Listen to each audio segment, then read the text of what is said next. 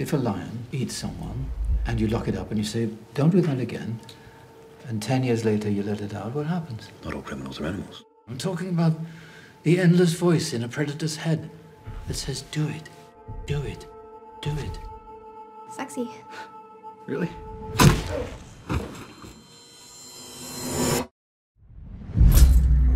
What's happening to me?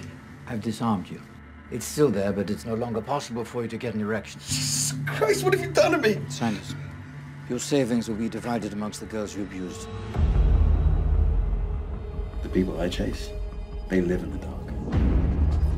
And I could see them really easily until you came along. He ain't coming. I'm bored. I want to go home. There's a young girl in here. She left already. We can't go knocking down doors. The very until life she- is on the line, right now, right this second, and here we are, talking! He says that he's fitted a girl with a tracker, and he's using her as bait. Get out there and find her!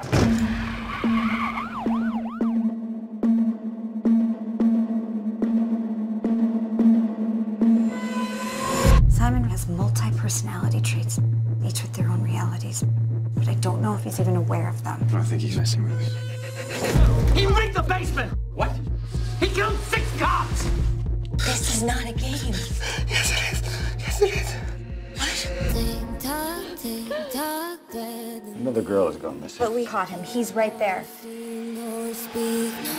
He's been in my house. That's impossible. Let me say I'm sorry for the things I've done. And then I'll tell you where the last one is.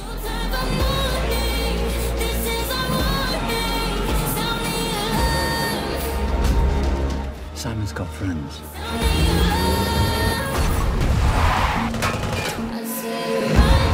When you find them, kill them.